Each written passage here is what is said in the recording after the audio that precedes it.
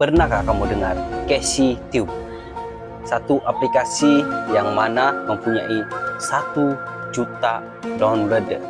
Video sebelum ini, saya pernah mengulas tentang aplikasi Casey Tube yang ada di Play Store. Bagaimana cara aplikasi ini menghasilkan duit dalam platform Play Store. Aplikasi ini dikategorikan sebagai scammer karena aplikasi ini menghasilkan duit melalui iklan yang kita perlu tengok untuk mendapatkan ganjaran seperti yang dijanjikan. Akan tetapi, pada masa ini, aplikasi ini sudah dipadam oleh pencipta aplikasi itu sendiri.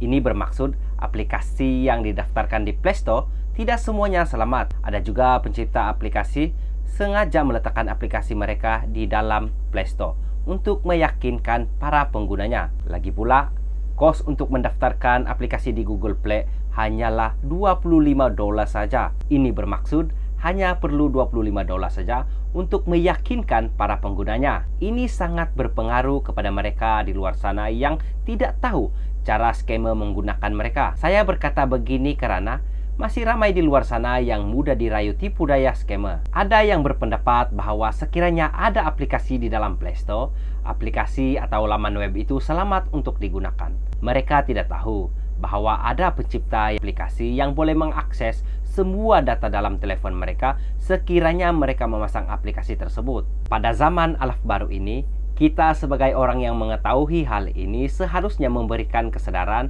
dan memberitahu kepada mereka yang kurang mengetahui dalam hal ini. Saya pasti masih ramai lagi yang kurang bersetuju tentang hal ini. Tapi tidak mengapa, itu hak mereka untuk percaya ataupun tidak. Sekiranya video ini bermanfaat, sila kongsikan kepada rakan Anda.